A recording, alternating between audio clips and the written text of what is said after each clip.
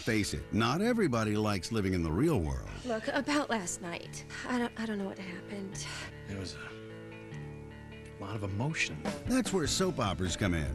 In the soap world, the characters' problems seem worse than our own. You know, everybody seems to like to peek through that window and see what someone else is going through, especially when it's not them. I really have to go. Key to a love scene for any actor is really how how it's shot. Shooting a lovemaking scene is extremely difficult, and the expression I use for enormous payoff. Whether you're chasing demons or relatives, a daytime character's family tree is enough to make your head spin. I thought you've been sailing those waters for years. Take the bold and beautiful's Captain Nick Payne. I'm gonna make this real simple.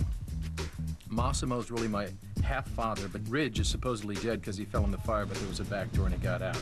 Now, Brooke, who married Ridge, now made love with Nick, even though my brother Ridge married her. And that's where we are right now.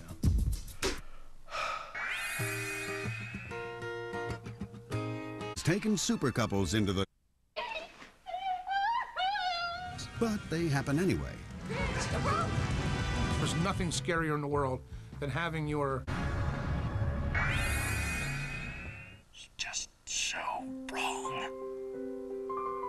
It's no secret that soaps thrive on hyped up emotional drama. When you do an emotional scene, those things have to really happen for real for me. So don't you go anywhere. Because you're all I've got. Whenever in doubt, turn on the faucet. There are more tears in daytime. You could really canoe around a set. You shouldn't be with me. The more intense believe you and just walked off.